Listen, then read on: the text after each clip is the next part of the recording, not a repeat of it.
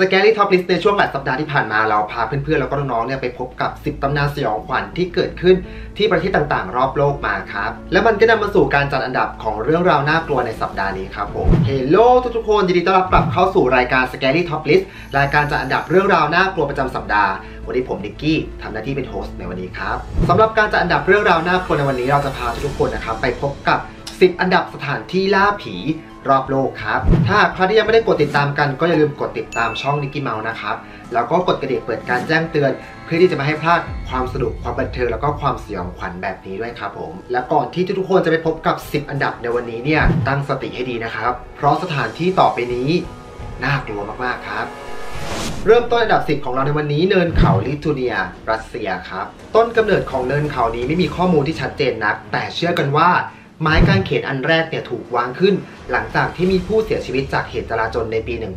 1831 หลายปีต่อมาชาวลิทูเนียได้ก่อกบฏกับรัสเซียเพื่อต้องการอิสรภาพ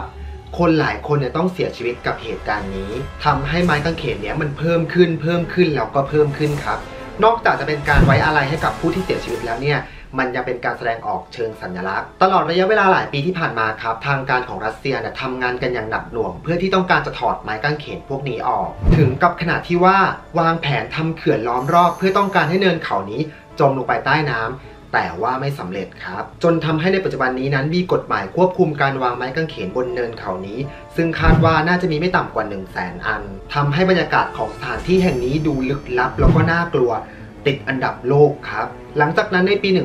1993 สถานที่แห่งนี้ก็ถูกประกาศให้เป็นสถานที่ที่ใช้แสวงบุญของนักบวชคาทอลิก โดยสมเด็จพระเจ้าสันตะปาปาจอห์นปอลที่ 2 ครับตามมาที่อันดับ 9 ครับ ตวนสเลงประเทศกัมพูชา ก่อนหน้านี้นั้นตวนสเลงเป็นโรงเรียนมัธยมแห่งหนึ่งในเมืองพนมเปญ หลังจากที่เขมรแดงประกาศชัยชนะ โรงเรียนมัธยมแห่งนี้ก็ถูกแปลสภาพเป็นคุกที่มีชื่อเรียกว่า Security Prison 21 หรือ S21 โดยมันถูกใช้เป็นสถานที่คุมขังกลุ่มคนที่เกี่ยวข้องกับรัฐบาลเดิม หรือปัญญาชน คนที่ใส่แว่นเนี่ยก็ถูกกล่าวหาว่าจะเป็นกลุ่มคนที่มีความรู้ เช่นหมอหรือนักวิชาการที่สามารถมา ขัดขืนหรือว่าต่อกรกับพวกเขมรแดงได้ พวกเขาจึงจับกลุ่มตัวคนเหล่านี้มาที่คุกตัวสเลงเพื่อที่จะมาทรมานก่อนที่จะจบลงด้วยการเสียชีวิตครับ หรือไม่ก็ถูกส่งต่อไปที่ทุ่งสังหารเจิงเอง ซึ่งก็มีความตายรออยู่ไม่ต่างกันเลยครับ ถึงแม้ว่าทุกวันนี้ตัวสเลงจะไม่ได้เป็นคุกอีกต่อไปแล้ว รัฐบาลก็ได้เปลี่ยนตัวสเลงให้กลายเป็นพิพิธภัณฑ์ที่บอกเล่าถึงการฆ่าล้างเผ่าพันธุ์ เรื่องราวของความโหดร้ายที่เคยเกิดขึ้น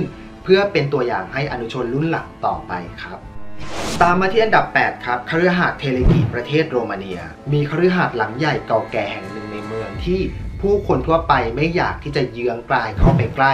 หรือว่าแม้แต่ลูกหลานหรือว่าทายาทของเจ้าของคฤหาสน์หลังนี้เองเนี่ยก็ไม่กล้าที่จะย้ายเข้ามาอยู่ในคฤหาสน์หลังนี้ครับคฤหาสน์เทเลกีถูกสร้างขึ้นในช่วงสมัยสงครามโลกครั้งที่ 2 จากข่าวลือของชาวบ้านที่เกี่ยวกับ มีผีอาศัยอยู่ที่คฤหาสน์แห่งนี้ กองทัพรัสเซียมาได้ยินเรื่องราวนี้ ก็อยากที่จะทดสอบ แล้วก็อยากที่จะพิสูจน์ดูครับพวกเขาเนี่ยได้ทำการบุกเข้าไปสำรวจที่คฤหาสน์แห่งนี้ แล้วก็ไปเจอกับห้องเก็บไวน์ที่มันอยู่ใต้ดิน ว่ากันว่าในขณะที่ทหารกำลังดื่มไวน์กันอย่างเพลิดเพลินนั้น อยู่ๆ ทหารพวกนั้นก็ชักปืนขึ้นมา ยิงกราดใส่กันจนตายแทบทั้งหมดเลยครับ ชาวบ้านต่างเชื่อกันว่าเหตุการณ์ที่เกิดขึ้นนี้เป็นเพราะผีที่อยู่ในคฤหาสน์แห่งนั้น โมโหที่พวกทหารเข้ามาวุ่นวายในคฤหาสน์หรือว่าพวกเขาทะเลาะแย่งวน์กัน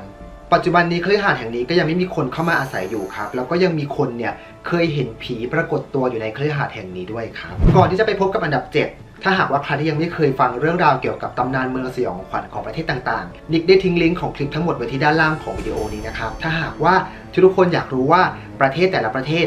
มีความน่ากลัวมีตำนานสยองขวัญยังไง ก็ไปติดตามชมได้ที่ลิงก์ด้านล่างนี้ได้เลยครับ ถัดมาที่อันดับ 7 ครับ ชาโตเดอะบริสแซกประเทศฝรั่งเศส ปราสาทอันสูงส่งแห่งนี้เต็มไปด้วยมนต์เสน่ห์แห่งโลกยุคเก่า แต่หนึ่งในผู้ที่เคยอยู่อาศัยในอดีต สร้างความสยองขวัญให้กับผู้ที่มาเยี่ยมเยียน ว่ากันว่าหญิงสูงศักดิ์คนหนึ่งครับ ซึ่งเป็นลูกสาวของภรรยานอกกฎหมายของกษัตริย์คนหนึ่ง ถูกคู่สมรสจับได้ว่าเป็นชู้กับชายอื่น จึงทำให้เธอถูกฆาตกรรม จากนั้นผู้ที่เข้ามาครอบครองใหม่ ก็ได้ต้องการที่จะฟื้นฟูแล้วก็ เปลี่ยนแปลงอะไรบางอย่างในปราสาทแห่งนี้ แต่แผนการนั้นกลับไม่ราบรื่นแล้วก็ต้องล้มเลิกไปครับ สาเหตุเป็นเพราะ Green Lady วิญญาณของหญิงสาวผู้ถูกฆาตกรรมตามหลอกหลอนคนหลายคนครับ และทุกคนที่เห็นเธอก็จะบอกว่าเธอสวมใส่ชุดสีเขียว แล้วก็มักจะปรากฏตัวขึ้นในปราสาท สิ่งที่น่ากลัวที่สุดก็คือใบหน้าของเธอครับ หากเธอมองมาที่คุณคุณจะพบว่าใบหน้าของเธอนั้นมีรูโหว่ที่ดวงตาแล้วก็จมูก ซึ่งมันคล้ายๆกับซากศพครับ อีกทั้งเสียงร้องครวญครางของเธอนั้นก็มักจะถูกได้ยินในทุกๆเช้ามืดของทุกวันด้วยครับอันดับ 6 ครับ เมืองพรีเพียตประเทศยูเครน เมืองที่ถูกสร้างขึ้นใหม่ในปี 1970 พรีเพียตได้รับผลกระทบจากแรงระเบิดโรงไฟฟ้าพลังงานนิวเคลียร์เชอร์โนบิล การรั่วไหลของกัมมันตภาพรังสี หลายคนต้องตายแล้วก็หลายคนเนี่ยต้องอพยพหนีทำให้เมืองนี้กลายเป็นเมืองร้าง จากคำบอกเล่าของผู้ที่เคยไปสำรวจในเมืองนี้ โรงพยาบาลร้างเคยมีคนได้ยินเสียงกรีดร้อง ในโรงเรียนก็มีเสียงหัวเราะของเด็ก ตุ๊กตาที่วางอยู่ทั่วไปก็เหมือนกับว่า มันคอยจ้องมองพวกคุณครับ มีเสียงกระพือปีกของ Blackbird of Chernobyl ว่ากันว่าเป็นนกยักษ์ที่กลายพันธุ์เพราะสารกัมมันตภาพรังสี และยังมี Slender Man เงาดำของชายร่างสูงที่เดินผ่านไปผ่านมา โอ้โห Slender Man ก็มา ในอาคารร้างก็จะมีบรรยากาศที่วังเวงแล้วก็เยือกเย็น สิ่งที่ได้เห็นแล้วก็ได้ยินเนี่ยถ้าไม่ใช่ภาพหลอนมันก็คงจะไม่ใช่มนุษย์อย่างแน่นอนครับ เพราะว่าไม่มีผู้คนใดจะมาอาศัยอยู่ในเมืองนี้ได้แน่ๆครับ อันดับ 5 ครับ The Inn at Belvoir Winery สหรัฐอเมริกา ที่พักและโรงกลั่นไวน์แห่งนี้เดิมทีเคยเป็นหมู่บ้านที่เก่าแก่ โครงสร้างของอาคารของพวกเขานั้นยังคงคงไว้เหมือนเดิมครับ รวมทั้งวิญญาณของคนที่เคยอาศัยอยู่ที่แห่งนี้ด้วย อาคารพักหลักของที่นี่นั้นเมื่อก่อนเคยใช้เป็นบ้านพักคนชรา โรงพยาบาลแล้วก็สถานรับเลี้ยงเด็ก รวมถึงสุสานครับทำให้คนที่มาเข้าพักเนี่ยต่างเคยเห็นรอยเท้าของเด็ก เสียงร้องเพลงของหญิงชรา ไฟที่เปิดปิดเอง รวมถึงการถูกสกิดหรือว่าถูกสวมกอดอย่างปริศนา หากคุณกล้าพอไปล่าท้าผีที่นี่แล้วคุณเตรียมของเล่นไปด้วยเนี่ย คุณก็จะได้พบกับ วิญญาณของเด็กชายใส่เสื้อกล้ามสีแดง ปรากฏตัวขึ้นใกล้ๆกับเตาผิง สถานที่แห่งนี้จึงมีกิจกรรมที่ดึงดูดผู้ที่ชอบสัมผัสปรากฏการเหนือธรรมชาติในช่วงเดือนตุลาคม Halloween Massacre และ Murder Mystery Dinner เจ้าของสถานที่เนี่ยยังเตรียมปากกา แล้วก็สมุดบันทึกไว้ในห้องพัก เพื่อที่ให้ผู้เข้าพัก ได้บันทึกช่วงเวลาที่น่ากลัวที่สุด แล้วก็สามารถแบ่งปันให้กับผู้ที่มาเยือนในอนาคตได้อีกด้วยครับ อันดับ 4 ครับ เกาะตุ๊กตาประเทศเม็กซิโก เกาะตุ๊กตาเป็นสถานที่ท่องเที่ยวที่น่าขนลุก ซึ่งซ่อนตัวอยู่ทางแม่น้ำตอนใต้ของเม็กซิโกซิตี้สถานที่แห่างนี้มีตำนานครับ มันเกิดมาจากชายคนหนึ่งที่ชื่อว่าซานตานาเขาทอดทิ้งครอบครัวเพื่อมาใช้ชีวิตเพียงลำพังที่เกาะแห่งนี้ หลังจากที่เขามาใช้ชีวิตที่เกาะนี้นั้น วันหนึ่งเขาได้พบกับศพของเด็กสาวคนหนึ่งที่ลอยน้ำมาพร้อมกับตุ๊กตา ด้วยความที่เขาอยู่ที่เกาะนี้คนเดียวครับ และเขากลัวว่าวิญญาณของเด็กสาวนั้นจะตามมาหลอกหลอน เขาจึงนำตุ๊กตามาแขวนไว้ เพื่อเป็นการไว้อะไรให้กับเด็กสาว แต่ว่าตุ๊กตาตัวเดียวนั้นอาจจะไม่พอครับ เขาจึงเอาตุ๊กตาที่พบจากกองขยะแล้วก็ในน้ำเนี่ยมาแขวนไว้ทั่วเกาะรอบๆ บริเวณพื้นที่ ซึ่งตุ๊กตาเหล่านั้นน่ะมันไม่สมประกอบครับ และมันก็สร้างความเสียวสยองหวาดกลัวให้กับคนที่พบเห็น ใครผ่านไปผ่านมาก็จะ ฮ้ hey, หลังจากนั้นไม่นานครับ ก็มีคนพบศพของซานตาน่าเสียชีวิตนอนคว่ำหน้าอยู่ในน้ำซึ่งสันนิษฐานว่าเป็นจุดเดียวกันกับที่เขาพบศพของเด็กสาวที่ลอยน้ำมาครับ นอกจากเรื่องบังเอิญที่น่าสดสยองนี้แล้วนั้น ชาวบ้านยังยืนยันว่า ตุ๊กตาที่อยู่บนเกาะนั้น สามารถเคลื่อนไหวได้ในตอนกลางคืนครับถัดมาที่อันดับ 3 ครับ ป่าอาโอกิงาฮาระ ประเทศญี่ปุ่น ถ้าหากว่าคุณเป็นคนที่ชื่นชอบธรรมชาติ ชอบเดินเข้าป่า ชอบต้นไม้เนี่ย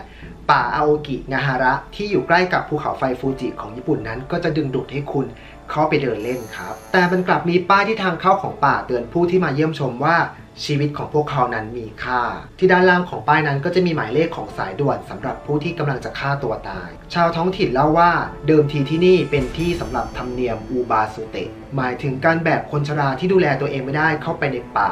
แล้วก็ปล่อยทิ้งให้ตายไปเองครับโอ้ยเศร้า รวมทั้งยังมีนวนิยายที่เกี่ยวข้องกับการฆ่าตัวตายเกิดขึ้นที่นี่ทำให้อัตราการฆ่าตัวตายนั้นเพิ่มมากขึ้นครับ รัฐบาลเนี่ยถึงกับมีการจ้างคนเพื่อที่จะไปเฝ้าสถานที่แห่งนี้ แล้วก็ขัดขวางไม่ให้มีการฆ่าตัวตาย ซึ่งมันก็ทำได้บ้างเป็นบางกรณี แต่เจ้าหน้าที่ทุกคนก็ยังรายงานว่ายังพบเสื้อหรือว่าเชือกหรือขวดเปล่าที่บรรจุสารฟอกขาว รวมทั้งความรู้สึกที่เหมือนกับมีใครกำลังจ้องมองเขาอยู่ทั้งทางที่นั่น ไม่มีใครเลยครับ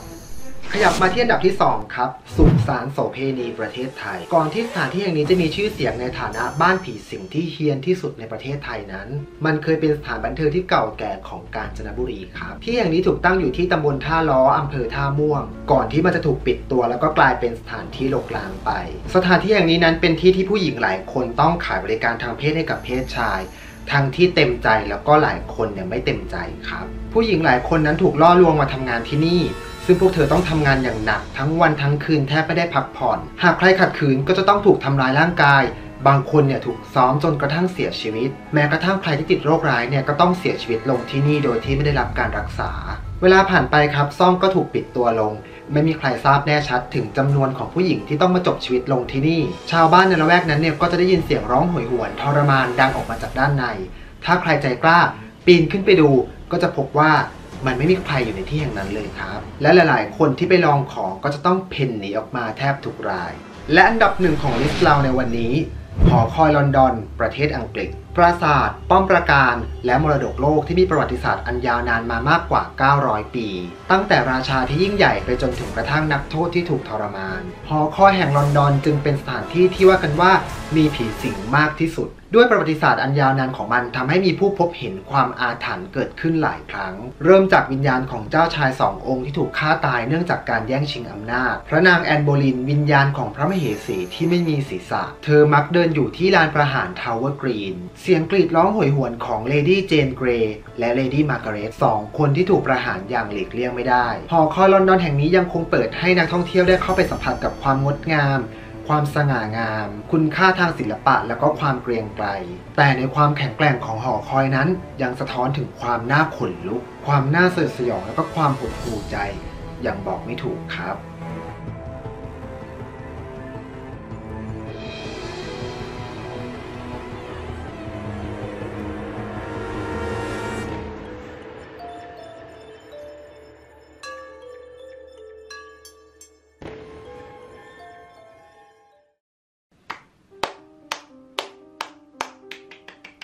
และนี่คือเรื่องราวของ 10 อันดับสถานที่ล่าผีรอบโลกครับ จริงๆยังมีสถานที่ล่าผีอีกเป็นร้อยเป็นพันเลยครับ ซึ่งก็เป็นว่านิกจะนำข้อมูลเหล่านี้มาเล่าให้กับน้องฟังใน EP ถัดไปแล้วกันนะครับ มาตอบคอมเมนต์ท้ายคลิปกันดีกว่าครับ มีคอมเมนต์อะไรน่าสนใจบ้างนะ มีน้องๆขอตำนานการล่าแม่มดในยุโรปครับ อันนี้มี plan ที่จะทำครับ แต่ด้วยความที่ตำนานเกี่ยวกับแม่มด แล้วก็การล่าแม่มดน่ะมันมี detail ที่ค่อนข้างละเอียดครับ แล้วมันก็เป็นเรื่องที่น่าสนใจ ดังนั้นเนี่ยจึงต้องใช้เวลาในการหาข้อมูลครับ ซึ่งอาจทำออกมาในรายการมาฟัง story ครับ ยังไงก็ฝากให้น้องๆช่วยกันติดตามเลยนะครับ ขอทำคลิป 10 อันดับตำนานจากกัมพูชาหน่อยครับ 10 อันดับตำนานสยองขวัญที่เกิดขึ้นต่างประเทศเนี่ยยังคงทำอยู่ครับ แต่ยังไงก็แล้วแต่รายการ Scary Top List นั้นก็ยังมี 1 คลิปต่อ 1 สัปดาห์ครับ ยังไงก็ฝากน้องช่วยกันติดตามด้วยนะครับ สาวปากฉีกตำนานคล้ายกับตำนานญี่ปุ่นเลยผีสาวปากฉีกหรือคุชิสเกะออนนาในประเทศญี่ปุ่นนั้น ก็จะคล้ายๆกับตำนานของเกาหลีครับ ซึ่งบอกไม่ได้ว่าที่ไหนเกิดขึ้นก่อนกัน แต่ที่แน่ๆก็คือในเอเชียของเรานั้นมันก็จะเป็นลักษณะของวัฒนธรรมร่วมครับ ดังนั้นเรื่องที่เกิดขึ้นในประเทศหนึ่งก็อาจจะไปคล้ายกับตำนานของอีกประเทศหนึ่งครับ อย่างเช่นผีกระสือในประเทศไทยเนี่ยก็คล้ายๆ กับตำนานของประเทศเพื่อนบ้านเราครับ ทั้งกัมพูชาแล้วก็ประเทศลาว อินโดนีเซียด้วยครับ และทั้งหมดทั้งมวลก็คือ 10 อันดับเรื่องราวน่ากลัวประจำสัปดาห์ในอาทิตย์นี้ครับ ถ้าหากว่าชื่นชอบแล้วก็อยากสนับสนุนกันเนี่ย ก็อย่าลืมกดไลค์กดแชร์กับคลิปนี้นะครับ แล้วพบกับ Scary Top List ได้ใหม่ในสัปดาห์หน้าครับผมสำหรับวันนี้นิกต้องขอลาไปก่อนครับ สวัสดีครับ